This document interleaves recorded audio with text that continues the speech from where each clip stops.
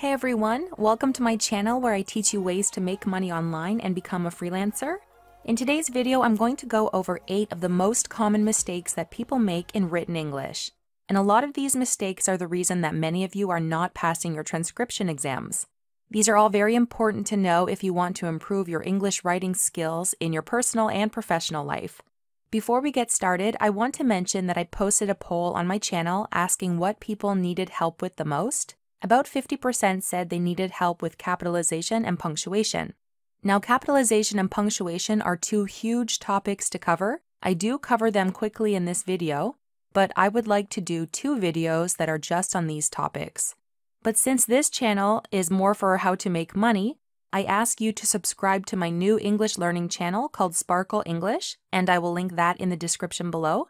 And once I reach 200 subscribers there, I'll release my next English teaching video. Okay, so let's get started. So the common mistake number one is it's or its. Many English speakers get confused about when to use it's or its. Uh, this is even a common mistake for native English speakers.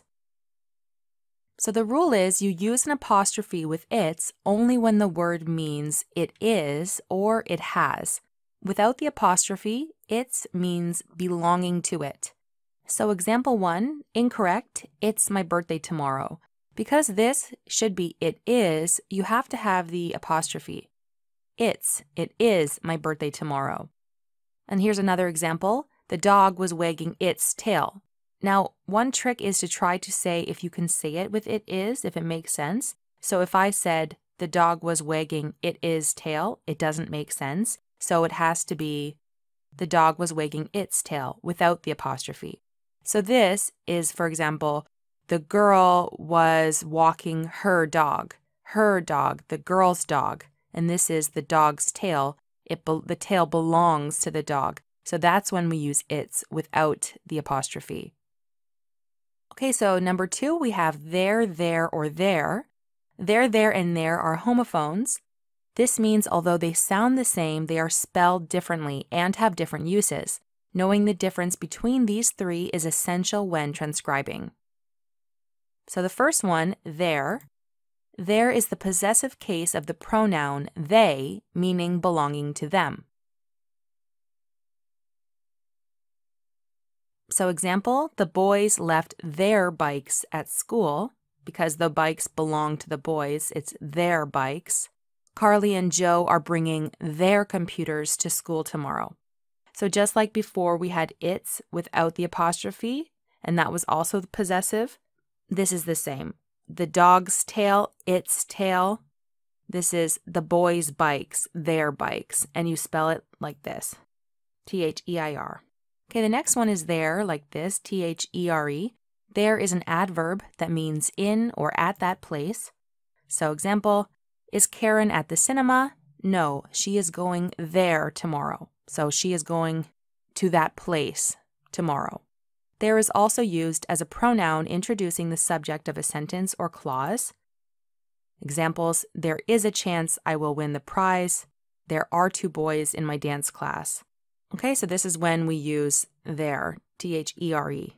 The next one is they're, and this is the easiest because they're is a contraction of the words they and are. So they're means they are.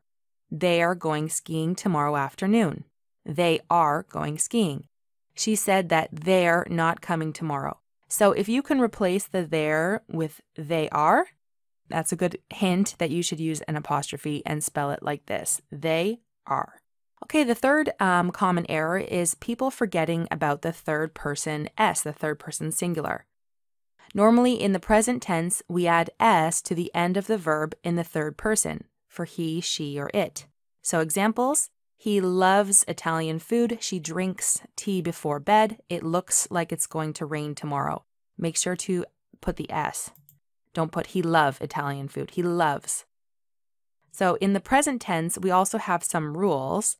If the verb ends in double S, X, CH, SH, or the letter O, we add ES in the third person.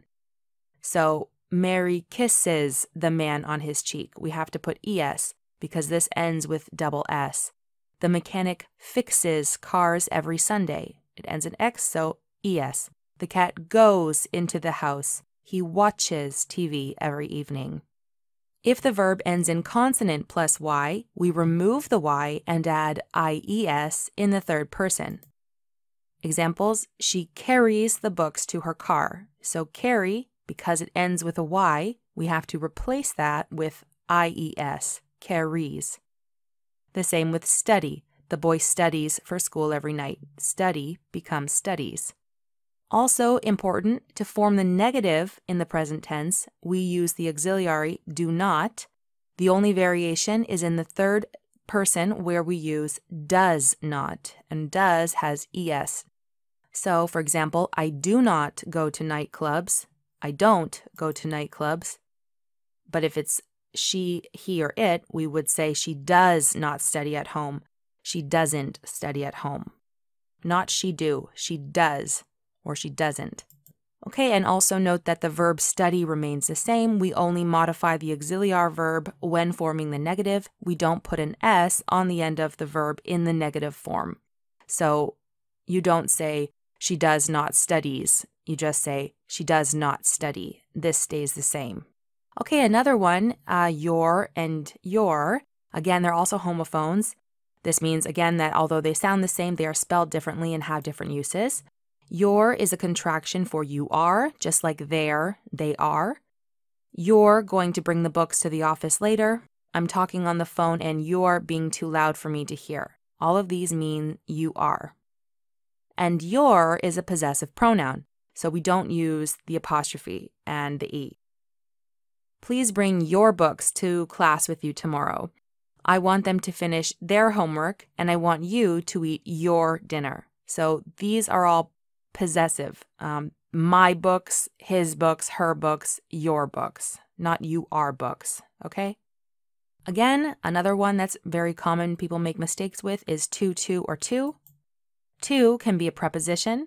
We're going to the store. To can indicate an infinitive when it comes before a verb. We want to go with you tomorrow night.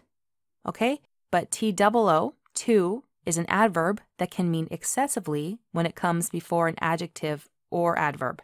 So I ate too much pasta for dinner, which means I ate more than I should have, excessively. Too is also a synonym for also. So I ate too much at dinner, too. So let's say your little brother says, I ate too much dessert, and you say, Me too.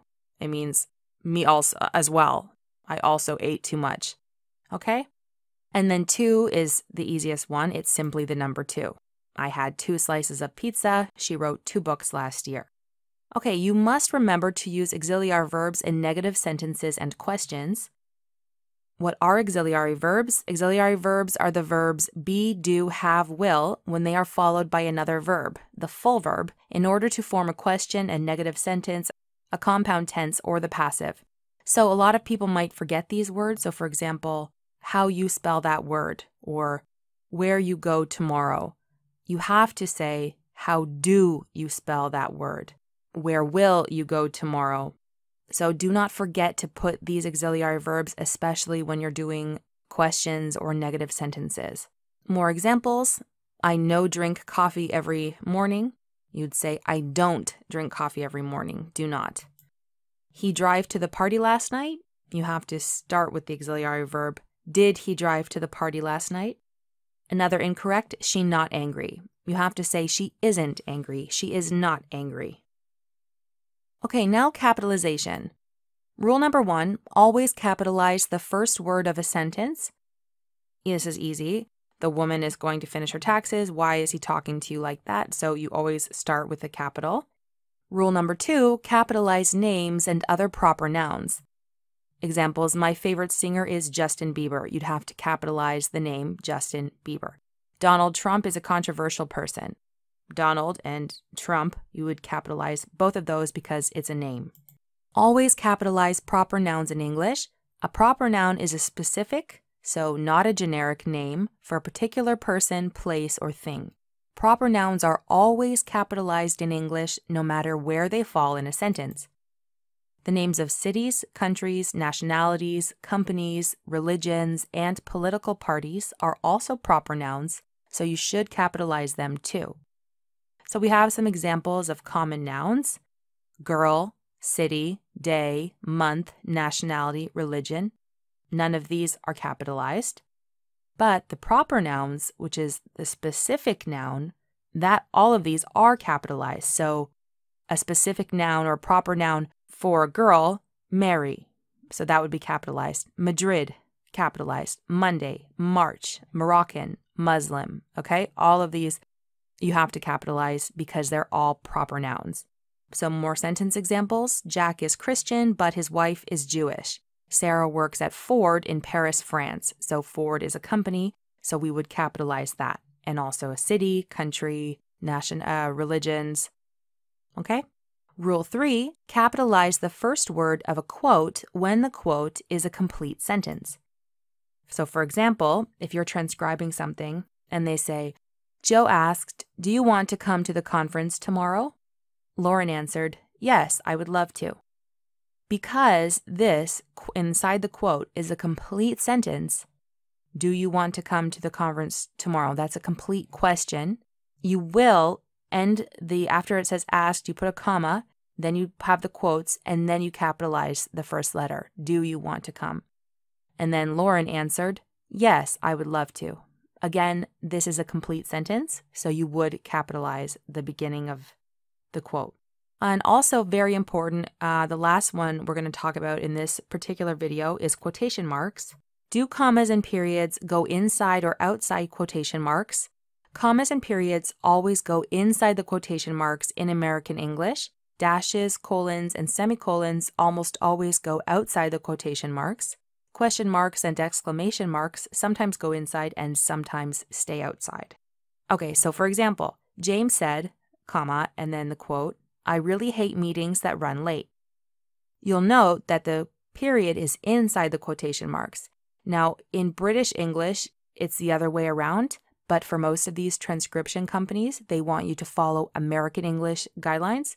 And so that would mean you would put the period or the comma inside um, the quotation, and the quotation is at the end. And then you would have a space, and then you would start the next letter, capital letter of your next sentence. So, quotations and capitalization. If you're quoting a complete sentence, you should start the quote with a capital letter, even if the quote is placed in the middle of a sentence. So, the actual saying she read was, Time heals all wounds. Because this is a complete sentence, you would start it with a capital letter, even though it's in the middle of or near the end of this sentence. If you're quoting a phrase or a part of a sentence, don't start the quote with a capital letter. So, for example, she called them boring, rude, and cruel, and she stormed out of the room. So, boring, rude, and cruel is not a complete sentence, it's just three adjectives. So, you would have this in lowercase, not capitalized, okay? And you would quote put the quotes around it and because that is what she's saying, and then you would continue the rest of the sentence. Does that make sense? I hope so. Okay, so now we're going to do a little test based on all the stuff that we've just gone through and see if how much you know. We're going to fix these statements and write your answers in the comments below my video to see if you're right.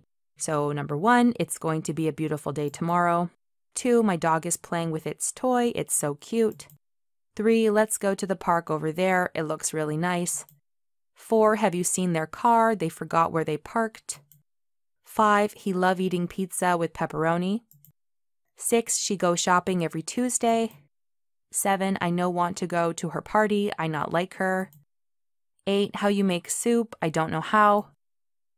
Nine, my birthday is in January. I'm going to celebrate with a trip to Paris and France. And 10, my best friend is Christian, but I am Catholic. Okay, so uh, if you pause this video and you want to answer in the comments, that's great. If or even just answer a couple of them if you have time. So that is all for this first part of my video. This is more a tutorial for people who are not native English speakers and maybe people who have a lower level of English because if you have a really a decent level of English, you should know all of this stuff. Maybe there's a few things you might get confused, but most of this stuff you should know. So, again, if you want me to do two more very detailed videos on capitalization and punctuation, I would love to do that for you guys, but I don't want to fill this channel up because it's a money making channel. I don't want to fill it up with uh, English teaching videos. So I'm asking you to go ahead and like my new channel, subscribe to my new channel, and then once I receive 200 uh, subscribers, there I will post my next video on capitalization or punctuation, one of the two. So I'm hoping that these writing mistakes will help you in your next transcription exam. Uh, there's lots of things that you need to know, lots of homophones and all sorts of other things that can be really difficult. English is not the easiest language to learn, but that's why I wanted to give you this video to show you what I see a lot of mistakes that a lot of the people who comment on my videos make small little errors. And I thought this might be able to help you when you're doing your next exam to keep these things in mind, especially with how to capitalize letters and also uh, with quotation marks and then other common words that are misspelled. So, subscribe to my channel, to this channel, if you want to learn more about how to make money online. Subscribe to my English teaching channel if you want more videos. I want to do beginner videos and also advanced videos on learning English when I have time to do them for you guys. So thank you once again for watching my video and I will see you next time.